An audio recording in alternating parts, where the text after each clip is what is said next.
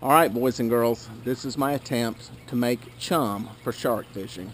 First, I don't know what I'm doing, so this will be entertaining if nothing else. Second, is going to be ugly, so uh, if you're squeamish, uh, you might want to find something else to watch.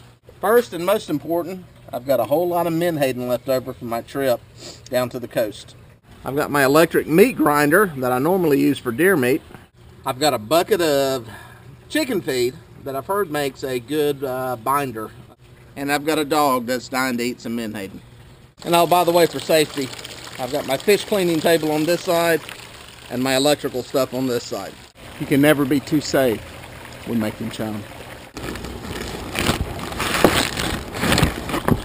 First comes the dirty work, and that's going to be cutting up these things into pieces that'll fit into the meat grinder.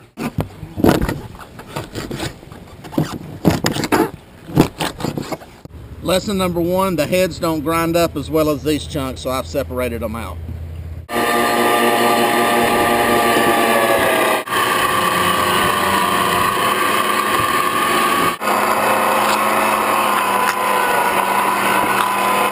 The next step is to mix some of this grain with some of the meat. Some experts have told me this is what helps spread the scent through the water column without giving them big chunks of meat to eat.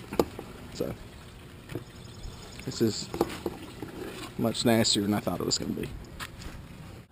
And as if all the other crap wasn't enough, some menhaden oil.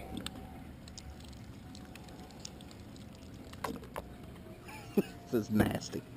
Final step is going to be to dump this crap into a container that I can freeze. My plan is to put it in bags, put it inside of a bucket, and then freeze it. All right, two more pieces of advice on making homemade chum. First, do it at night. Uh, it's cooler, doesn't smell as bad, there's less flies and uh, less yellow jackets around.